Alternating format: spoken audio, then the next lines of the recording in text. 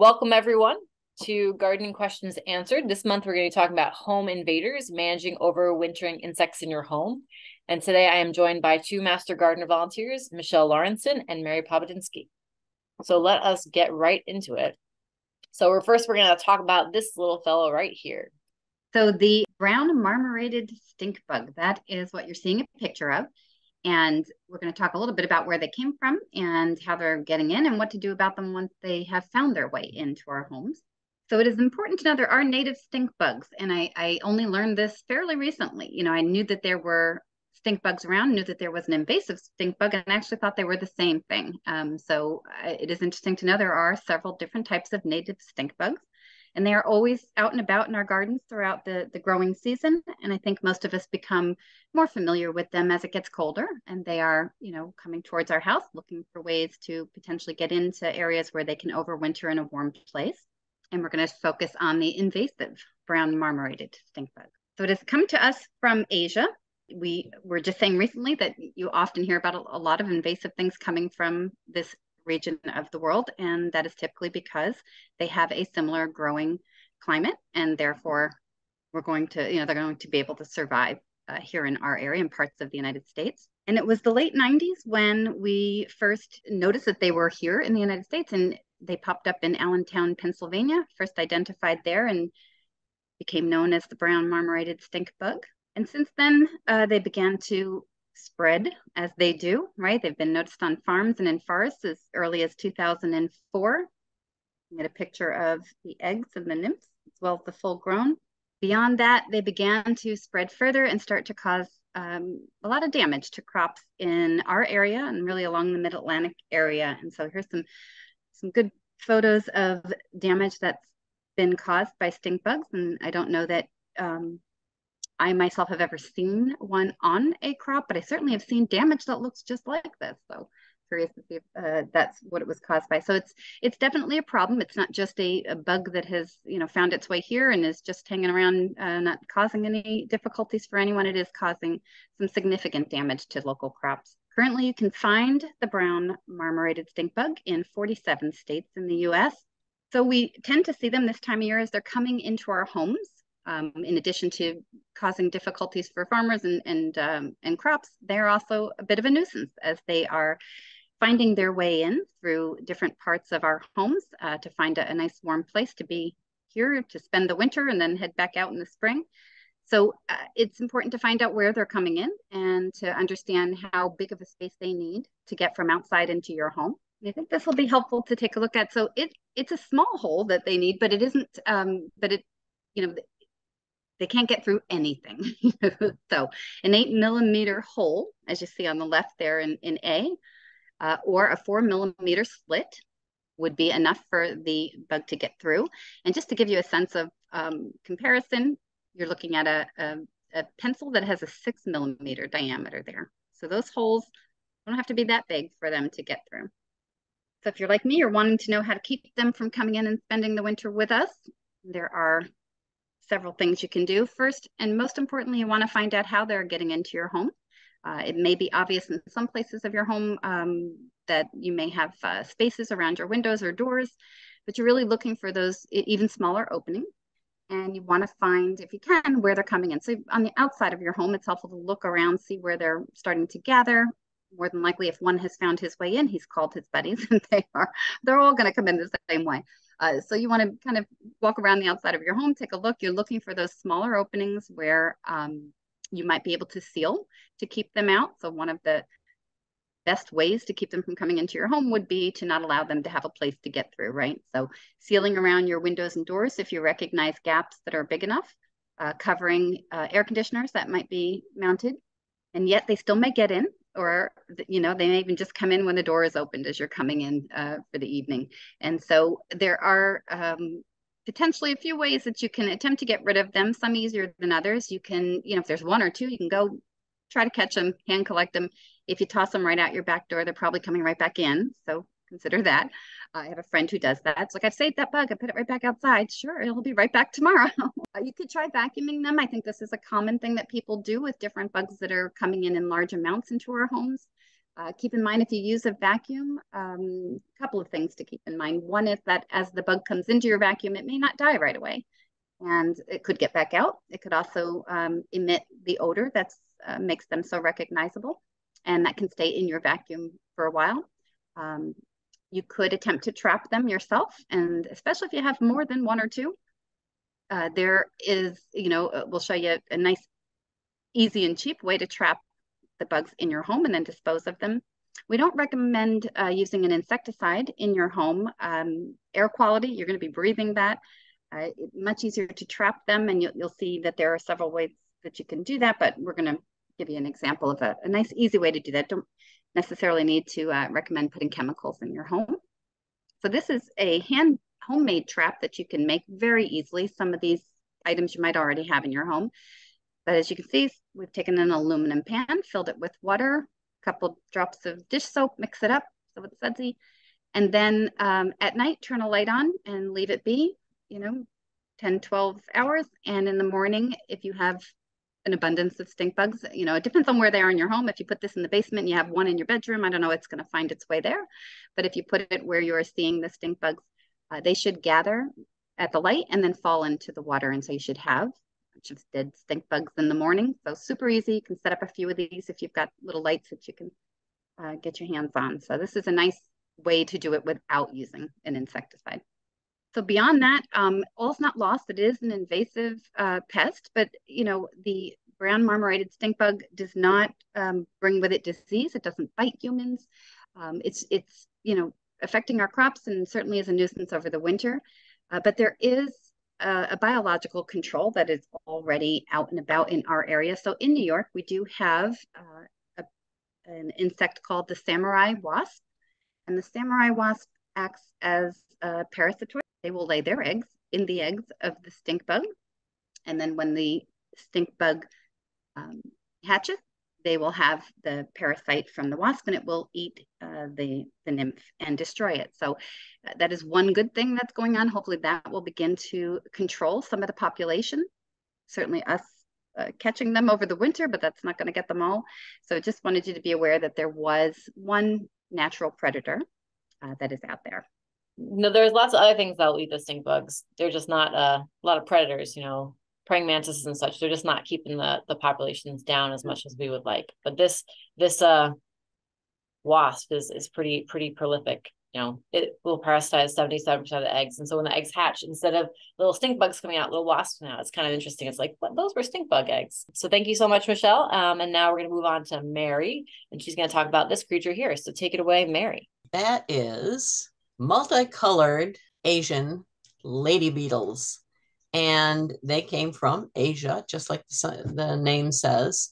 They we've always had native beetles here, native lady beetles, and everybody's usually familiar with them. They're one of the most common bugs that people do know about, and people think of them as a nice bug because they're cute. They don't necessarily do anything horrible. Um, the invasive lady beetles do have some negative things, though associated with them. And, and it's kind of important to be able to tell the difference. As it says, multicolored. You're not necessarily going to see either native or invasive lady beetles that just look like the ones in the pictures. But what you can look for on the um, invasive ones is kind of a little W or M shaped mark on their thorax, which is the area right behind their heads that's really the only distinctive mark because as you can see from the pictures, there's a lot of different forms of, of lady beetles, both native and invasive. So how they got here was from Asia. And as Michelle said, we get a lot of things that are coming in now from Asia that are because there's so much more transportation available than there was 100 years ago even but also because a lot of the things that have come in from Europe have been here for 400 years. So we really don't think of them as being something new. We think of them as being kind of already in the country. Um, these came from Asia. And in 1973 and 1981, they were in, introduced in Pennsylvania on purpose by the USDA as a biocontrol agent because they do exactly the same things our native bugs do, our native lady beetles, which is they eat aphids, they eat scale insects. They are very good at controlling a lot of the things that we really need controlled for crops. In the 1980s, there was also an introduction, they think, in Louisiana by a freighter traveling from Asia. So it's really hard to tell exactly what all of these creatures are coming from. I mean, they don't have passports, so we don't know exactly when and where, but they're finding them all over the place now, especially in the areas that they can overwinter. And that's really the main reason that they're a problem. Our native lady beetles don't overwinter in houses as much. They don't come out in swarms and just sort of are all over the place indoors. Most of our native lady beetles will find places outside or they'll lay their eggs at different times so that they don't have, they're not uh, hiding inside your attic or wherever it is they find inside the house. Currently, they are in 46 states. And as you can see, it, it's kind of isolated the two that they're not in. So I have a feeling that's not going to last forever either, even though, you know, 40 years, that's not too not too shabby to find your way into the most of the United States. Why are they all over the side of my house?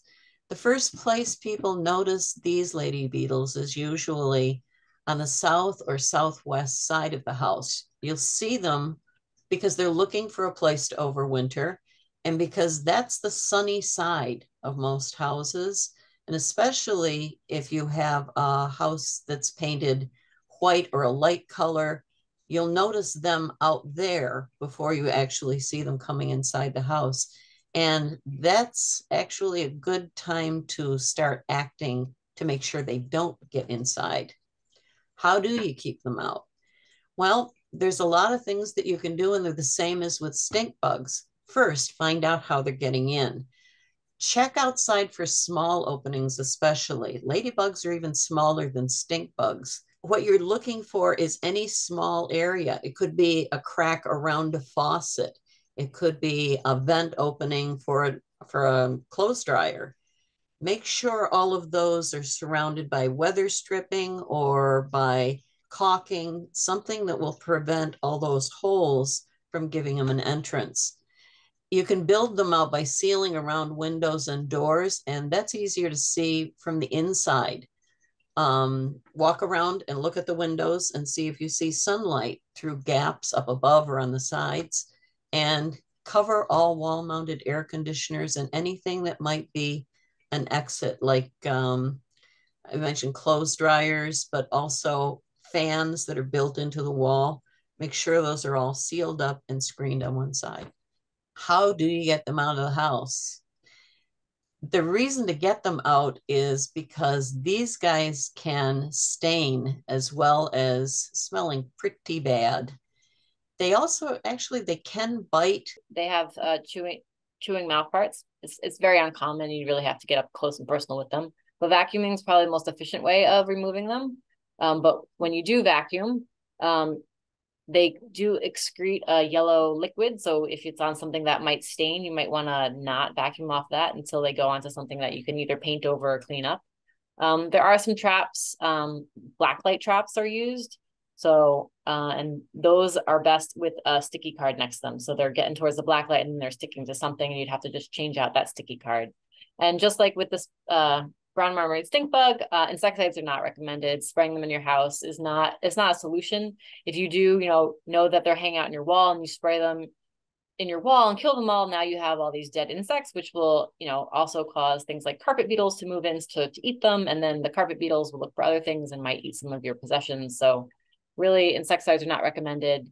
Um, you want to get rid of them and not just just kill them on spot. What else is being done? Well, unlike the brown marmorated stink bug, not much because they're beneficial insects, right? Um, they eat soft-bodied insects like aphids, mealybugs, scale. You know, as Mary was saying, they were introduced as a biological control, and since the they're not bothering agriculture or our forests, people aren't really uh, doing much to try and get rid of them although studies do show that they compete with native lady beetles so that that is an issue um, if we want to save all of our native fauna um, this is this is a problem. But um, studies are looking into how we can uh, better provide habitat for our native lady beetles. Now I'm going to talk about some occasion, occasional invaders. So these, you know, the brown marmorated stink bug and the multicolored Asian lady beetle, they usually come on in swarms. Um, you can find them. You can find them almost every year. The next few ones that I want to talk about, um, they're not not as prolific. Uh, you might find one or two, but it's good to know what you you find in your house because uh, what you have depends on how you should how you should treat it. So um, first, I want to say this is a kissing bug, and we do not have kissing bugs in New York State. A lot of these uh, occasional invaders are misidentified as kissing bugs. Uh, kissing bugs are dangerous in that they do transmit Chagas disease, which can be quite serious if, if left untreated.